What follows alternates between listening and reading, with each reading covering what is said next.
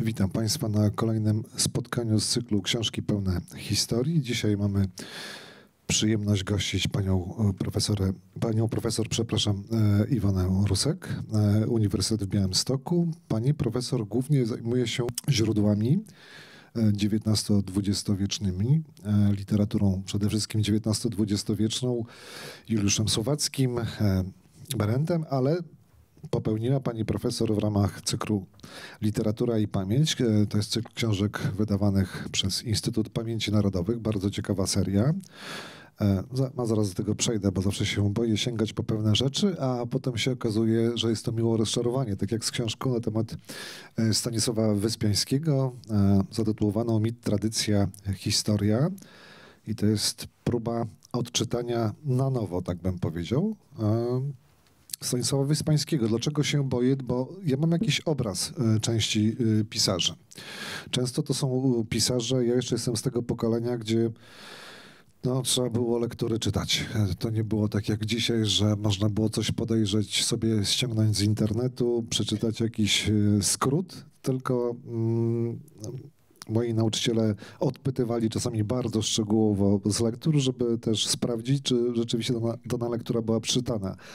Ale w przypadku Stanisława Wyspańskiego jest jeszcze e, coś więcej niż tylko oczywiście samo na przykład wesele, chociaż tutaj pani profesor przygląda się też innym e, dziełom e, pisarza, e, ale wesele przecież miało swoje liczne aranżacje, inscenizacje teatralne, bardzo ważne. One jakoś bardzo silnie oddziaływały na zbiorowość. Nie wspomnę już o marcu 68 roku przecież wszak.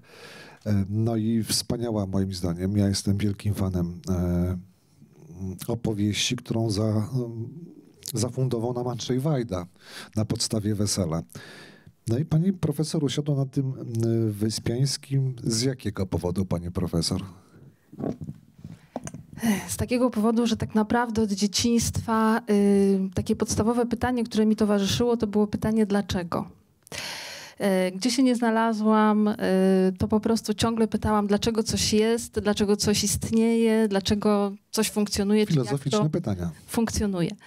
E, I, mm, I to jest takie pytanie, które zostało ze mną tak naprawdę do dzisiaj. I w tych poszukiwaniach naukowych myślę, że y, sięganie do źródeł, sięganie do istoty bytu i to ciągłe zadawanie pytania o sens istnienia jest bardzo ważne. Dlatego też w swoich pracach naukowych, w poszukiwaniach naukowych szukam takich autorów, którzy e, będą mi bliscy duchowo i którzy też te pytania najważniejsze e, i też to pytanie najważniejsze, czyli dlaczego e, będą stawiali i będą szukali odpowiedzi albo mnie jako człowieka, jako badaczkę, jako uczoną będą zmuszali niejako mm, do takiego wysiłku twórczego, żeby mm, starać się tę odpowiedź uczynić. Nie tylko oddać ją, ale ją też przede wszystkim uczynić e, w taki sposób na przykład, że powstaje, e, powstaje książka. I Wyspiański jest dla mnie właśnie e, takim, takim autorem, który ciągle to pytanie formułuje i ciągle zmusza mnie E, żebym ja też to pytanie sobie stawia, stawiała, dlaczego coś jest, dlaczego zachodzą pewne procesy w narodzie, dlaczego pewne historie się powtarzają, dlaczego tradycja jest ważna, dlaczego tradycja zanika, jaki jest nasz stosunek do tego. Y, I to jest dla mnie taki bardzo ważny pisarz i um, przez to pytanie jest też dla mnie takim niesamowitym nauczycielem, ponieważ kiedy zaczyna się pracować, e, kiedy zaczyna się tak naprawdę spotykać, ponieważ taka praca e, z autorem tego formatu jak Wyspiański to jest po prostu spotkanie. E, I wtedy tak naprawdę człowiek uświadamia sobie, jak mało wie. I to jest fascynujące, oczywiście przerażające, ale, ale fascynujące, bo wtedy zdajemy sobie sprawę, ile możemy dzięki temu spotkaniu, dzięki temu człowiekowi, dzięki tej pracy, którą on kiedyś włożył e, w swoje dzieła, ile my dzisiaj możemy się e, nauczyć, ile możemy się e, poznać. Dlatego Wyspiański, dlatego Berendt, dlatego Słowacki, ponieważ to są wielcy nauczyciele i autorzy, którzy wymagają od swojego czytelnika nieustającego pracy, takiej i czujności. To jest taki bardzo twardy tytuł, bym powiedział. Mit, tradycja, historia. Dlaczego te trzy elementy u Wyspiańskiego pani bada, czy im się przegląda? Teraz ja zadam to pytanie, dlaczego? Mm, dlatego, że mit y, był obecny w życiu i w twórczości Wyspiańskiego oczywiście od najdawniejszych lat. Y, on czytał... Jakiego rodzaju to jest mit? To są mity przede wszystkim antyczne. On sięga do tych mitów, on je czyta, on je studiuje, on rysuje postaci i sceny z, z mitologii, z, z Odysei. To jest dla niego szalenie, e, szalenie ważne, ale mit też oprócz tej, mm, tej opowieści, którą my wszyscy znamy, o mitach, o bogach, o herosach, niesie w sobie pewne prawdy e, uniwersalne. I to jest w tym micie, którym e, zajmuje się Wyspiański, do którego on sięga i który dla mnie też jest ważny, to jest bardzo istotne, ponieważ mit jest opowieścią o tym, co w życiu jednostki i wspólnoty najważniejsze, co ją konstytuuje, jakie są te prawa, wedle których ta rzeczywistość czy ta wspólnota funkcjonuje. Mit pozwala zrozumieć, mit pozwala zadawać to pytanie właśnie, dlaczego coś jest, mit pozwala podążać y, za, za wartościami e, i, y, i pozwala mm, na to, żeby konstytuowało się to, co najważniejsze na takim poziomie duchowym i na takim poziomie e, bardziej e, racjonalnym. Dlatego mit, właśnie z tych wielu, z tych wielu przyczyn, ale też dlatego, że Wyspiański uwielbiał Mickiewicza i Mickiewicz w swoich wykładach w, w, we Francji powiedział, że tak naprawdę wielkie czyny wielkich ludzi tworzą nasze życie. I te opowieści mm, mityczne są opowieściami o wielkich ludziach i o ich czynie. I my tak naprawdę od dzieciństwa słuchamy baśni, a tak naprawdę te baśnie to są po prostu mity, czyli opowieści o jakichś ludziach, o ich czynach, o tym, co jest najważniejsze. E, I te mity, te opowieści przekazywane z pokolenia na pokolenie pozwalały przetrwać ludziom w najważniejszych, w najtrudniejszych momentach. I Mickiewicz mówi, że słuchając mitów urabiamy się wewnętrznie na bohaterów, ponieważ te opowieści po prostu wchodzą w nas, mm, wchodzą w nasze serce, zaczynają w nim żyć i my po prostu, słuchając tych opowieści, zaczynamy stać się też takimi ludźmi. Te wartości są dla nas e, ważne. Dlatego ten mit, bo mm, też jak mówi Mickiewicz, każdy naród ma mm, swoją krainę ducha, ma swój ołtarz, w którym zgromadzone są wszystkie najważniejsze opowieści, wszystkie najważniejsze ziarna. I w chwilach ciężkich dla danego narodu zwracamy się właśnie do tego, e, do tego ołtarza, do tej krainy ducha i idziemy tam, żeby czerpać posiłę właśnie do czynu. I tam w tej krainie ducha są te, e, są te ziarna, czyli ci bohaterowie, ci, e, którzy mm, są e, bohaterami naszej zbiorowej wyobraźni, ci, którzy są tymi w tych opowieściach mitycznych. I o tym mówimy przez pokolenia, stąd tak ważna jest, tak ważna jest tradycja. No to już doszliśmy do tego drugiego elementu. Czym jest tradycja w ujęciu Wyspiańskiego? I na ile on jest też elementem tradycji? Ja, ja mogę tylko powiedzieć to, jak ja rozumiem, czym jest tradycja dla Wyspiańskiego przez to obcowanie z jego dziełem, natomiast za, nie, za niego nie powiem. On się wypowiada poprzez swoje dzieła, ale zawsze jest to interpretacja. To, to, jak ja będę o tym mówiła, to trzeba pamiętać o tym, że to jest moje rozumienie, to jest moja wrażliwość. To jest taka zasada bardzo piękna, o której pisał Arthur Schopenhauer, świat jest moim wyobrażeniem. To, jak ja rozumiem e, tradycję u, Wysp u Wyspiańskiego, będzie też jakąś opowieścią opowieścią o mnie. O tym, jakim jestem człowiekiem, o tym, jakim jestem naukowcem, co jest dla mnie ważne, jakie są dla mnie ważne lektury, co ja w swoim życiu przeżyłam, co ja doświadczyłam, co jest dla mnie istotne. I przez ten pryzmat ja będę tę, e, tę tradycję tego Wyspiańskiego definiowała i Państwu ją przekazywała. Tak ją będę e, rozumiała, tak ją będę u tego Wyspiańskiego czytała, wyciągała i przedstawiała Państwu. Tradycja jest częścią duchowego dziedzictwa. Bez niej e, nie istniejemy ani na poziomie jednostkowym, ani na poziomie wspólnotowym. W tradycji są zaklęte wszystkie najważniejsze e, wartości, które związane są też e, z tą sferą obrzędową i misteryjną, o której ja piszę, a która też jest bliska Wyspiańskiemu, czyli właśnie to, co w micie ważne i uniwersalne, zyskuje taką swoją rangę w obrzędzie, a ta powtarzalność gestów, ta, to, to nieustające trwanie w czasie tych wszystkich wartości, przechodzenie z pokolenia na pokolenie, to jest właśnie e, tradycja. Co no, chyba dla mnie przynajmniej znajduje naj, naj, taki ewidentny wyraz w weselu. No dobrze, historia, bo to jest bardzo ważne i to jest bardzo też specyficzne, jak mówimy konkretnie o Wyspiańskim, bo przecież zerwanie ciągłości państwowej, jeśli chodzi o historię Polski, no zaważyło na tym, że nie mamy polityków w zasadzie, do których możemy się z tego okresu odnieść, ale mamy pisarzy, którzy stają się w jakimś sensie politykami, czy też wyrazicielami różnego rodzaju tęsknot, poglądów e, całej społeczności. E, jak to było w przypadku Wyspiańskiego? No bo to wesele jest y, też bardzo, mówię teraz ja o swojej, o swoim odczytaniu nie tylko pani książki, ale wesela, y, taką bardzo twardą, czasami brutalną diagnozą narodu polskiego, szeroko rozumianego. Może on może słowo naród jest trochę późniejsze, pojawia się wraz z Dmowskim, no ale, ale to jest bardzo twarde osądzenie polskich dziejów. Tak, i to, jest, y, to, się, to się wiąże z tym, o czym powiedziałam y, na początku, że Wyspiański jest wielkim nauczycielem.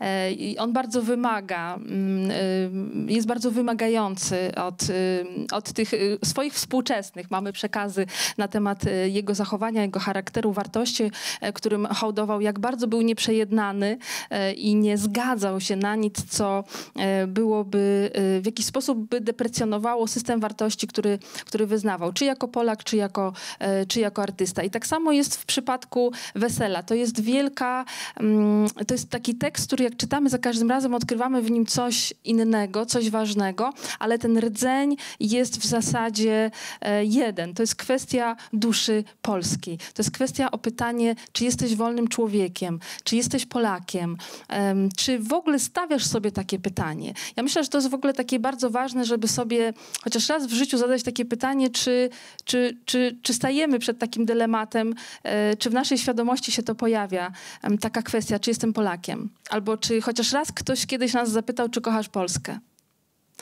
Albo czy sami siebie pytamy, czy kocham Polskę? I jaka jest odpowiedź na to, na to pytanie. I Wyspiański kochał Polskę nieprzytomnie.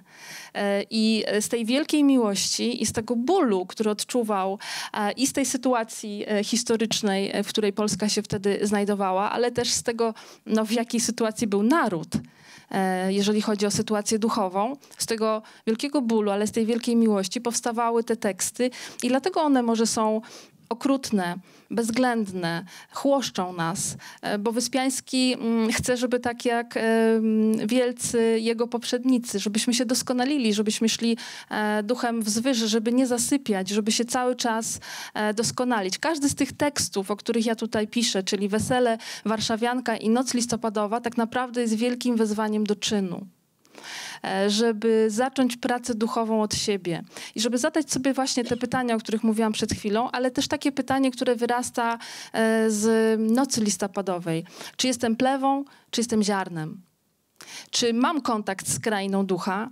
Czy mam kontakt z wielkimi bohaterami, dlatego że jestem ziarnem, czy po prostu e, jestem tym plewem, które powoła korna, e, które powoła kora i, i po prostu zmiecie, bo jest chwastem, który jest po prostu nic nie warty. I moje życie wtedy przemija e, i tak naprawdę nic nie wznoszę mm, ani do tego swojego życia na takim poziomie osobistym, ani na poziomie wspólnotowym. E, pani profesor, jeszcze e, nim przejdziemy do tej definicji, e, jaką pani odczytuje, czy odnajduje u Wespiańskiego owej duszy polskiej, to jeszcze mam takie pytanie, bo wszystkie, ca, cały ten cykl jest tak pomyślany, że oczywiście jest pewien, pewna interpretacja, opis twórczości danego pisarza, ale też znajduje się coś, co jest bardzo ciekawe w tych książkach, czyli aneks. I w tym aneksie tutaj mamy pięć e, bardzo określonych, wybranych przez panią profesor tekstów i dlaczego to są te teksty, a nie inne. Y, dlatego, że to są takie teksty kanoniczne, jeśli chodzi o mm, właśnie te dramaty. Ortwin między innymi. Tak, tak. Y, I jeśli chodzi o te dramaty, o których ja, ja piszę, y, a to są teksty zapomniane albo takie, do których się już dzisiaj nie sięga. I pomyślałam sobie, że przewrotnie właśnie w aneksie umieszczę te podstawowe, bardzo ważne teksty, y, żeby, żeby czytelnicy po prostu przeczytali je i mm, zadumali się nad tą mądrością, nad tą głębią, która się w tych tekstach znaj znajduje. Nagle się okazuje, że one są bardzo aktualne. Napisane są przepięknym językiem polskim. E, i znowu można się bardzo wiele dowiedzieć, bardzo się wiele nauczyć, obcując z tymi autorami, ale obok nich jest też współczesna autorka, to jest pani doktor Urszula Makowska, która napisała przepiękny tekst e, i bardzo chciałam, żeby ten tekst się w tym, e, w tym zbiorze znalazł, ponieważ to jest wspaniała badaczka, wspaniała uczona i, i chciałam też, żeby zwrócić uwagę na jej, na jej badania i poświęcone słowackiemu i właśnie, i właśnie wyspiańskiemu ponieważ ta jej wrażliwość mm, i też sposób pisania mm, o Wyspiańskim e, od tej strony artystycznej, e, od tej strony malarskiej jest bardzo cenny i godny zauważenia. Tak, ja tylko dla Państwa, e, tylko Państwu powiem, że to są między innymi teksty, znaczy Ostapa Ortwina, Stanisława Pigonia, Stanisława Lacha i Wacława Borowego i wspomnianej Urszuli Makowskiej. No dobrze, to czym jest ta dusza polska u Wyspiańskiego? O, to jest szeroki... Się poczuł jak egzaminator, pani profesor. hmm. Muszę się zadumać nad tym. To może nie, nie, nie. jeszcze inaczej, e, bo to jest ważne, bo tutaj się pani odwołuje do, odwoływała do e, Mickiewicza. Tak. Na ile Wyspiański jest romantykiem, a na ile przezwycięża romantyzm? Może tak. Nie wiem, ja myślę, że to wszystko zależy od momentu życia, w którym się znajdujemy. I myślę, że z twórczością tak jest e, Wyspiańskiego że nie można powiedzieć, że jest tylko romantykiem albo przezwycięża romantyzm. To wszystko zależy od tego, w jaki, tak jak powiedziałam, w jakich okolicznościach życia się znajduje, co jest dla niego ważne, na co zwraca uwagę.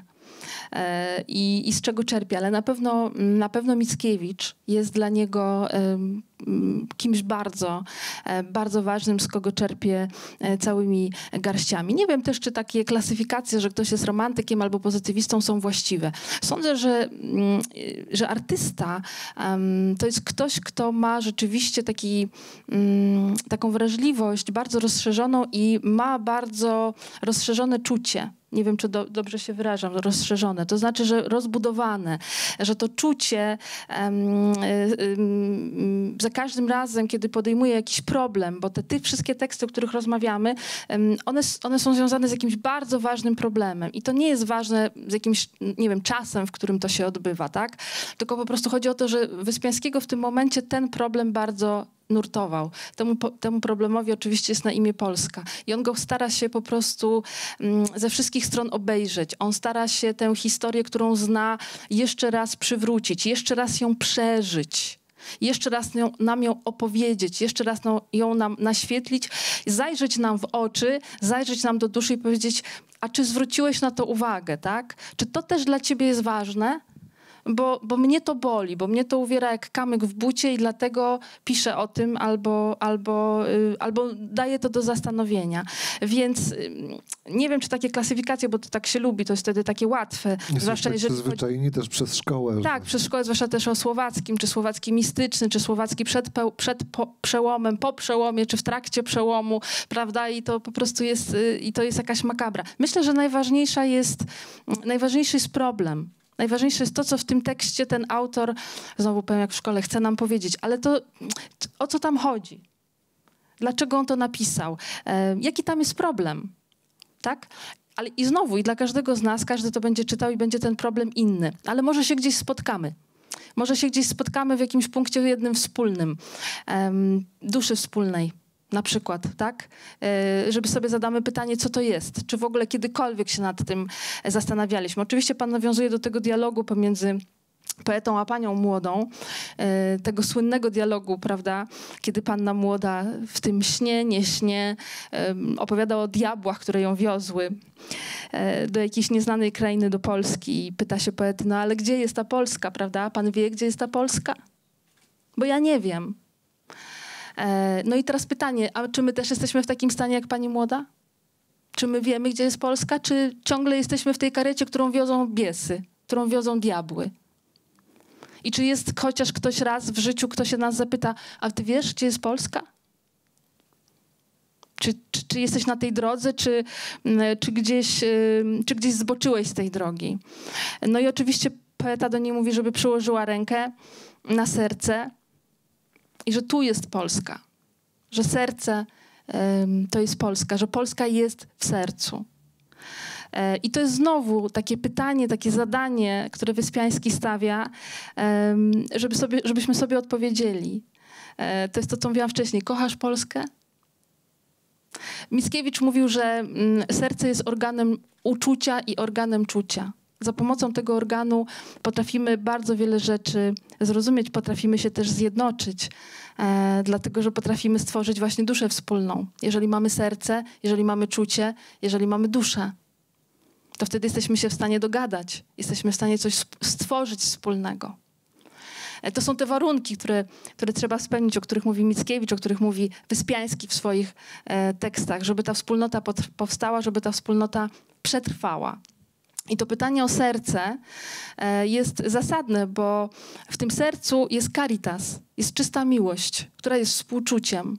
I ona sprawia, że jesteśmy gotowi do poświęcenia. Tak jak ci, którzy w listopadową noc wybiegli tu w Warszawie i zaczęli powstanie.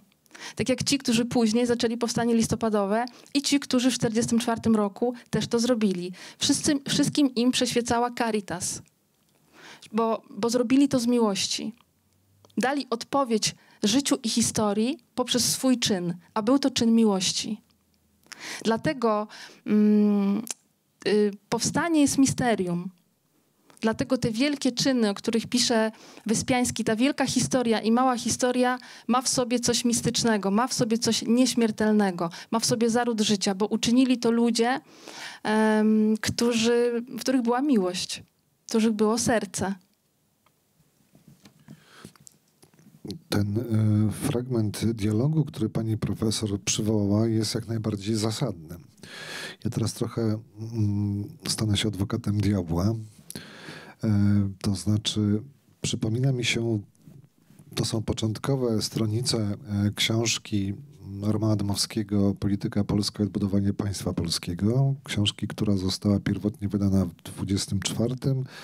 Co prawda Roman Dmowski zachęcał tylko do czytania drugiego wydania z 26, gdyż jak tam twierdził, no, zosta zostały poprawione błędy, które mu się w pierwszym wydaniu przydarzyły, ale tam też pojawia się takie pytanie, na, na, temat Polski, czym ona ma być, jak ona ma być. Mm, Roman Dmowski przywołuje taki obraz, no gdyby teraz się pojawił jakiś Trybunał Międzynarodowy, który miałby ową Polskę nam przywrócić, no to jak ona by była, w, jakiej, w jakich granicach też terytorialnych, etnicznych, czy to jest ta Polska z 1772 roku, czyli z okresu pierwszego rozbioru, czy też nie. I to jest właśnie pytanie mm, o rolę tutaj Wyspiańskiego dla, dla właśnie przechowywania, przenoszenia tej polskości, to znaczy z jakich źródeł jego zdaniem ta polskość wyrasta. Co jest tym elementem konstytutywnym polskości? Może tak. Myślę, że mm, znowu to jest moje rozumienie, więc y, nie mogę odpowiadać za Wyspiańskiego. Powiem tylko to, co ja rozumiem. Mm, myślę, że przeszłość Dlatego tutaj w tytule jest historia. Historia rozumiana także jako przeszłość. Bo w tej przeszłości możemy znaleźć, y, tak jak już mówiłam, siłę do tego, żeby siebie zbudować, siebie przetransformować. Dlatego, że misterium, takie, które jest y, związane z weselem, z obrzędem weselnym, misterium, które związane jest z pieśnią, która jest w Warszawiance, ta tajemnica pieśni, wewnętrznej transformacji, którą um, przeżywają śpiewający. Państwo macie pewnie takie doświadczenie, jak jesteście w tłumie, jest dużo osób i śpiewa się jakąś jedną piosenkę. Dzieje się coś wtedy, coś wtedy magicznego, tak? Coś, co jest poza ciałem, co za, coś, coś, co nas wykracza i w zasadzie nie mamy słów, żeby to opisać. Jest tylko to przeżycie, ten stan ducha, um, ta, to dziwne poczucie w ciele. Właśnie tej duszy wspólnej też, o której e, mówiliśmy. I to jest to misterium e, śpiewu, tej wewnętrznej transformacji, o której, e, którą pokazuje Wyspiański, sięgając do warszawianki. I to jest to misterium niezwykłe, które jest związane z nocą e, listopadową. I to misterium związane jest za każdym razem w tych tekstach, o których ja tutaj mówię, z wewnętrzną przemianą, z transformacją na różnych poziomach. E, I to jest w zasadzie ta sprawa najważniejsza. E, to jest to zadanie, przed którym my stoimy. E, starożytna mm, zasada mówiła: poznaj samego siebie, że jesteś człowiekiem. To jest ten najważniejszy czyn, którego musimy w swoim życiu dokonać. Poznać siebie, zrozumieć swoją istotę, czym jesteśmy, do czego mamy talent i przetransformować całą wewnętrzną istotę po to, żeby ten talent mógł zaistnieć, po to, żebyśmy mogli czynić po to, żeby nasze bycie, nasze jestestwo miało sens, to co mówiłam wcześniej. Żeby można było tę cegiełkę do tej krainy ducha e, dołożyć. Więc ja myślę, że, że chyba w ten sposób nieustająca praca, nieustająca uważność, czujność, i, i bycie świadomym um, tego wszystkiego, co było. Jest jeszcze jeden bardzo ważny element, który dla mnie się odsłania. Przede wszystkim znowu odwołam się do mojego ukochanego wesela. Wady. Wady e, narodowe, wady osobiste. Mm, gdzie Wyspiański dostrzega. Dlaczego to jest ważne? Bo to nie jest tak, że chodzi o pognębienie tej duszy polskiej, bo w latach 90. zrodziło się takie pojęcie, którego sam zresztą też używałem, pedagogika wstydu, prawda? Gdzie Polak ciągle się za coś tam musi tłumaczyć, a to za wojnę, a to za obozy koncentracyjne całe, cała też mecha, mechanika medialna taka była, że tutaj nie możemy być z niczego dumni, że teraz to się musimy porządnie swoim wadom przyjrzeć, ale jednak jak zerkniemy już do Starego Testamentu, jak przychodzą prorokowie, e, jak, a Wyspiański trochę jest prorokiem takim polskim, to oni nie tylko mówią, że tu jest jakaś misja do spełnienia, ale żeby ta misja udała się i była właśnie spełniona, także dziejowa pewna misja, no to musimy się przyjrzeć, dlaczego w tym miejscu, a nie innym się znaleźliśmy. A Wyspiański to pisze z perspektywy no, kraju, którego nie ma na mapie. Ale powiedz, pyta pan o wady, tak? Pytam e, generalnie o to, gdzie on widzi polskie wady. No bo to wesele to jest stała dyskusja z historią. Nie on to jeden robi. Znowu się powołam na Romana Dmowskiego. Roman Dmowski mówi e, w, w myślach nowoczesnego Polaka, jestem Polakiem tu dzisiaj, ale także biorę odpowiedzialność za przeszłość, ale też za przyszłość, jaka ta Polska w przyszłości będzie. Ale to... Bo to jest takie... Mm no jest to pa pamiętne, miałeś chamie złoty róg. Tak, ale mm, to nie chodzi o to, żeby, mm, wy, że Wyspiański pisze to, żeby punktować nasze wady. Tak ja to rozumiem. Znowu mówię, mówię o swoim rozumieniu. Ale chodzi o to, no już powiedziałam to, żeby mm, wskazując pewne e, zachowania czy pewne cechy, e, żeby się pojawiło rozumienie, żeby się pojawiło poznanie. Bo tylko wtedy, kiedy się poznanie i rozumienie pojawi, można dokonać zmiany. Sama, samo, samo stwierdzenie, że Wyspiański pokazuje wady narodowe, no nic nie daje, nic nie mówi. Można je tylko wyliczyć. Natomiast pochylenie się nad tym i to zrozumienie, dlaczego coś jest, ma sens rozmowa y, mm, pana młodego, prawda, który jest oskarżony o zdradę. To jest wielkie pytanie o to, czym jest zdrada. Zdrada jest oszustwem. Oszustwo jest kłamstwem, kłamstwo jest krzywdą. Dlatego tak mocno reagujemy na zdradę. I sam ten dialog y, już na przykład taki problem pokazuje, żeby się nad tym zastanowić, żeby zrozumieć, y, czym jest zdrada. Jest też y, w tym dialogu kwestia wolności. Bo pan młody mówi, hetmaniłeś ty hetmanie, sprzedałeś nas za pieniądze i sprzedałeś coś, co jest najważniejsze. Nasze życie i naszą wolność. I znowu jest kwestia wolności. I znowu jest kwestia egoizmu, um, kłamstwa, oszustwa. Także Wyspiański pokazując to, sprowadzając osoby dramatu, które do chaty Bronowickiej przyprowadza chochoł diduch, prawda? Ten wodzirej e, wielkich przodków, te osoby dramatu to są e, w zasadzie oprócz tylko widma takie osoby, które właśnie są tymi przodkami, e, tymi osobami z przeszłości, z historii i to one ukonstytuowały to, co jest wtedy i to, co jest teraz. Bo teraz sobie trzeba zadać pytanie, czy ta zdrada się skończyła? Czy ciągle trwa? Czy idzie przez pokolenia? A co z wolnością? I y, pokazując te wady, o których Pan mówi, Wyspiański znowu zagląda nam w oczy i znowu zadaje pytania o to, co jest teraz, ale przede wszystkim zadaje pytania o to, czy ta praca, czy ta praca, e, na którą on zwracał wtedy uwagę, czy została wykonana. Czy została wykonana, czy nie.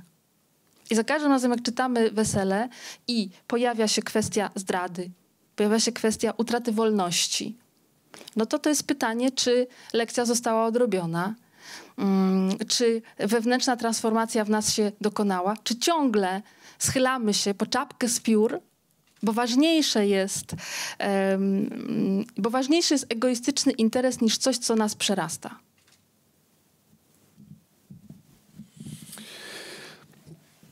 To teraz, e, bo tak, pani, pani profesor po swoim wstępie w książce, e, gdzie na takie główne, główne problemy mm, wskazuje czy, czy, czy zauważa, poświęca e, tekst analizie właśnie Wesela, Nocy Listopadowej i Warszawianki. A ile wesele jest dla wszystkich nas, myślę tutaj zgromadzonych i także nas oglądających za pośrednictwem internetu, e, znane, interpretowane na różne sposoby, także we współczesności, o tyle czym były te utwory jak Noc Listopadowa czy Warszawianka dużo słabiej znane przez współczesnych nam tutaj żyjących Polaków. Mm, to są bardzo ważne teksty, już troszkę o nich powiedziałam. Noc listopadowa mm, odwołuje się do tego ważnego, e, oczywiście wydarzenia historycznego i wplata Wyspiański w tkankę tekstu mm, opowieść o misteriach eleuzyjskich, e, dlatego że te misteria, które on bardzo dobrze znał, one są opowieścią o tym, że życie e, wygrywa ze śmiercią że y, miłość pokonuje śmierć. To jest oczywiście miłość matki, czyli Demeter, która wyrywa e, w micie Hadesowi swoją córkę, ale to jest ta właśnie miłość powstańców, o których mówiłam już wcześniej, która przezwycięży śmierć, przezwycięży krew e, i oni staną się tymi e, ziarnami, oni zapłodnią ziemię swoją krwią i kiedyś z ich, z ich krwi, z ich poświęcenia, z ich miłości, z ich e, powstanie e, wolna Polska. I to jest nawiązanie do czegoś bardzo takiego ważnego i można powiedzieć pierwotnego, e, jeśli chodzi o każdą wspólnotę i każdego, i każdego człowieka. Te misteria eleuzyjskie, które mówią o tym, że nie ma śmierci, że to jest tylko jak mgnienie powiek. E, te misteria, które mówią o poświęceniu, które mówią właśnie o tym, że miłość jest silniejsza od śmierci, wplecione w opowieść o powstaniu, które u swojego zarania jest skazane na klęskę i po prostu nie może się udać, bo listopad to dla Polaków niebezpieczna pora bo w listopadzie abdykował Stanisław August Poniatowski i Polska przestała istnieć to jest, to jest taki, taki, taka wskazówka e, znowu na to, żeby się zastanowić, czy rzeczywiście z tej klęski nie narodzi się coś silnego, bo Wielki Książę potrąca liście, ale mówi, te liście marzą i za rok te gołe drzewa e, pąkami się pokryją i ta Polska będzie żyła bo w nich jest coś wielkiego, w nich jest coś nieśmiertelnego. E, I to coś nieśmiertelnego krąży w ich krwi e, i krąży w ich duszy. I ta krew, jeszcze raz powtórzę, zapłodni ziemię e, i powstaną. Mm, to jest bardzo taka, mm, to mister, te misteria eleuzyjskie mają w sobie coś takiego tajemniczego, coś takiego magicznego, to co ja mówię, związane z nieśmiertelnością, mm, z tym, że umierają ludzie, padają na ziemię, ich krew wsiąka w ziemię i potem z tej krwi, prawda, dokonuje się jakaś magia i mm, przyjdą, przyjdą bohaterowie, przyjdą wyzwoliciele. Ale proszę zwrócić uwagę, że w bardzo podobny sposób ta, ta magia e, niewysłowiona jest też opisana chociażby przez Elizę Orzeszkową w Nadniemnem. Tam mamy mogiłę, do której chodzą wszyscy bohaterowie. Po co? Po siłę do czynu. W każdym ciężkim momencie bohaterowie jadą na mogiłę. I Orzeszkowa pisze, że z tej mogiły idzie jakiś ogień, idzie jakiś żar, jest jakaś energia. Żaden z bohaterów nie umie tego nazwać, ale to jest. Tam są pochowani, tam są pochowani ci, którzy walczyli w powstaniu styczniowym prawda? A wcześniej mamy listopadowe, o którym pisze Wyspiański, czyli mamy ten łańcuch sił żywych, te życia lampy niewygasłe, te pokolenia, które sobie podają tę lampę życia. I bohaterowie Orzeszkowej przychodzą do tej mogiły, e, z której bije jakiś ogień, bije jakiś żar. E, I jest też taka niesamowita rozmowa pomiędzy Anselmem a, a, młodym, e, a młodym Witoldem który opowiada o tym, co ma zamiar zrobić, jakie wprowadzić zmiany. I Anselm na niego patrzy i mówi, Boże, jakby Pan Andrzej zmartwychwstał. Czy ubici mogą drugi raz powstać? Prawda? Przecież pan Andrzej siedzi w, leży w mogile. A młody mówi nie, ale ich myśli i uczucia krążą w powietrzu i wchodzą w ludzi młodych. W nich się odradzają. I to, co Wyspiański pokazuje w nocy listopadowej, potem mówi chociażby o Rzeszkowa e, w Nadniemnem. Mówi o tym misterium, o tej niesamowitej magii, która się odbywa. Ale dlatego się odbywa, że powstańcy e, uczynili ten czyn, czyn z czystej miłości. Więc tak to tak to jest chociażby w nocy listopadowej. Dlatego to jest niesamowity tekst. On ma. Mm, on jest piękny pod każdym względem, on jest tragiczny pod każdym względem, ale ma w sobie tą niesamowitą tajemnicę i obsując tym tekstem możemy tej misteryjnej tajemnicy dotknąć i zastanowić się nad tym. Warszawianka. Warszawianka jest tekstem niezwykłym. Oczywiście mm, czasami przyjmuje się, krytycy mówią, że to jest taki tekst słaby, ale no ja się z nim nie zgadzam, bo jednak rysunek postaci Chłopickiego czy Marii jest naprawdę niezwykły. Zwłaszcza Marii, która wcale nie jest taką nieszczęśliwą narzeczoną, która straciła swojego, mm, y, swojego Józefa, dlatego że dla mnie ona jest y, okrutną, egoistyczną panną, która z całą świadomością e, żądania sławy dla siebie e, wysłała swojego narzeczonego na śmierć. Jest egoistyczna, jest dumna, jest próżna i w tym okrucieństwie, w tym strasznie złym charakterze jest bardzo podobna do Chłopickiego. Ona mu się podoba. On czuje z nią więź, ponieważ jest tak samo okrutny, egoistyczny, dumny, zarozumiały i nie kocha Polski, bo to w oczach Józefa zobaczył zachwyt e, dla sprawy, wiarę w powstanie stanie. Mm, on tego nie miał i zresztą mówi, ja z wami iść nie mogę, bo ja nie wierzę w to. Tak? I Wyspiański pokazuje mm, tragedię, że ci, którzy wierzą i kochają, są właśnie tymi ziarnami, które padają w ziemię, ich krew wsiąka, no a ci, którzy nie wierzą, zostają i stają na narodu czele. I znowu odwieczne pytanie, dlaczego tacy stają i decydują o tych wszystkich sprawach? E, dlaczego kobiety, bo to wielka, wielkie zadanie kobiety, i pytanie o tym, czym jest kobieta, e, się pojawia. Mm, kaprys sprawił, że Józef zginął. I tutaj też e, Wyspiański e, pokazuje, mm, jeżeli kobieta w taki sposób no, wymusza na mężczyźnie decyzję, to kończy się to tragicznie. Ale wielka rola kobiety, zwłaszcza w nocy listopadowej, jeżeli chodzi o boginię, jest, jest pokazana. I takie, taka znowu kwestia do, do rozważenia, do rozmowy dzisiaj, e, taki aktualny temat. Czym jest kobieta i czym jest mężczyzna? Jaka jest rola kobiety w wspieraniu mężczyzny, w budowaniu go, w tworzeniu, żeby był, żeby był mężczyzną. Mm, bo to dzięki e, kobiecej sile mężczyźni mogli walczyć e, i to wszystko mogło trwać.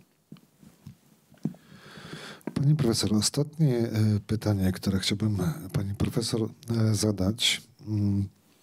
Mm, jak pani sobie to tłumaczy? Bo ja też próbuję sobie na, na, na takie pytanie odpowiadać. E, nie ukrywam, że dla mnie dwóch ostatnich, na przykład ważnych polskich pisarzy, których trochę odbierałem mm, to, co tworzyli na opak, już się zaraz wytłumaczę, co mam na myśli, to znaczy dla mnie to był no, też ich spór wzajemny.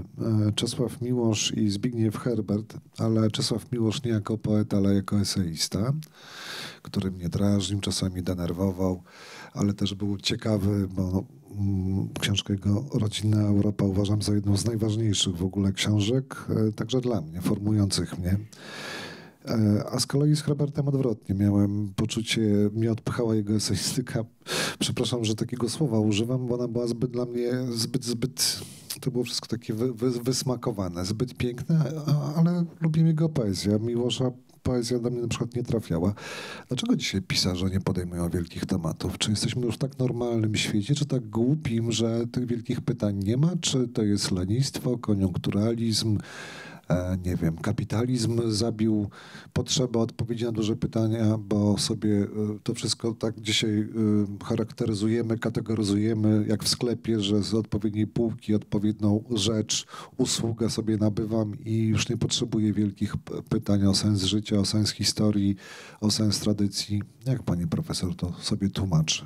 Ja myślę, że to jest sprawa indywidualna i związana z tym, jaką mamy świadomość bo ci wszyscy, którzy tworzą. Um, no ale zbiorowo, jak gdyby, ja jeszcze się wychowałem w czasach, gdzie jednak jak ukazywała się książka ważnego pisarza, ona była głośno dyskutowana, ona była elementem debaty publicznej. Tak. Chociażby wyprawa w dwudziestolecie Miłosza, o tą książkę się kłócono, dlaczego on to dwudziestolecie widzi tak, a inaczej, a dzisiaj w zasadzie to znika nam z przestrzeni publicznej. Mhm. No właśnie, dlatego chciałam powiedzieć, że to wszystko chodzi o świadomość, o świadomość indywidualną i świadomość zbiorową, dlatego że zawsze, kiedy obcujemy z tekstem jakiegoś pisarza, tak naprawdę obcujemy z nim. E, dlatego że kiedy się coś tworzy, to tak naprawdę człowiek pisze o sobie, mówi o sobie. Dlatego powiedziałam, że to jest moje rozumienie Wyspiańskiego. I może na przykład z Wyspiańskim nie mieć nic wspólnego. Może gdyby tu przyszedł, spojrzał na mnie, zapiął tużurek, to po prostu by wyszedł. Mogłoby się tak zdarzyć, tak? E, więc e, po pierwsze mm, dzieła sztuki, znaczy dzieła, które powstają mm, różnego rodzaju, mówią o tym, kim są ci, którzy je tworzą. Na jakim poziomie świadomości oni się znajdują. E, I, a, taka poziomość, a taka świadomość e, indywidualna zawsze tworzy świadomość zbiorową. Więc jeżeli pan mówi, że nie ma tych wielkich pytań, to znaczy, że nie ma ich tak naprawdę w zbiorowości i nie ma ich na poziomie indywidualnym. Stąd powiedziałam już wcześniej, że to jest taka praca, mm, takie zadawanie samemu sobie pytań i takie hmm, uświadomienie sobie, czy te pytania najważniejsze są w moim codziennym życiu obecne. Czy jestem tego świadoma, że na przykład nie są obecne? A jeżeli nie są, to dlaczego? I myślę, że zaczyna się zawsze od siebie. Od swojego poziomu rozumienia, od swojego poziomu świadomości.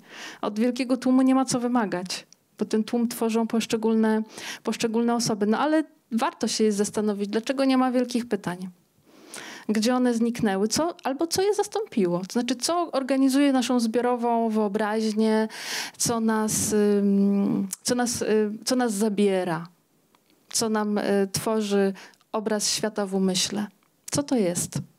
I czy to jest coś, co jest żywe? Czy to jest coś, czym się możemy nakarmić? Czy to jest coś, co nas wyjaławia? Bo słowa mają energię. Słowem można zabić i słowem można kogoś uratować. No i pytanie, czy te właśnie wielkie słowa i wielkie pytania się pojawiają. Jeżeli nie, no to po prostu będziemy się coraz bardziej wyjaławiać i umierać. I pani profesor nam w tym cyklu Literatura i Pamięć mm, stawia pewne pytania, analizując czy przyglądając się twórczości Stanisława Wyspiańskiego, czy próbując ją odczytać na nowo. Mi to dało do myślenia, za co jestem e, bardzo pani profesor wdzięczny, a państwa zachęcam do kupowania i czytania książek e, pani profesor, konkretnie tej książki w 14 księgarniach stacjonarnych IPN jest ona do dostania, a także za pośrednictwem strony ipn.gov.pl